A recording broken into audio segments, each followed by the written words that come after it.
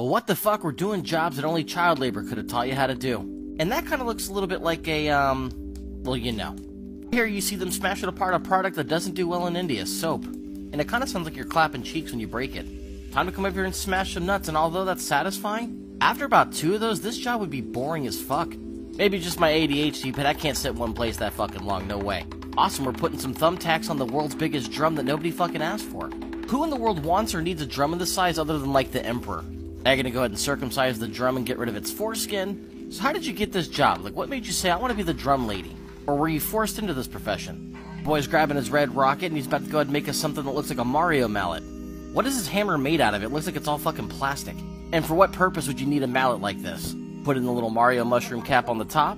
Not gonna lie, that kind of looked like a butt plug, and he looks a little too excited that he put it in there. What's this, the cables that hold up the Golden Gate Bridge? I feel like so far I've just watched a video on all the world's most useless products.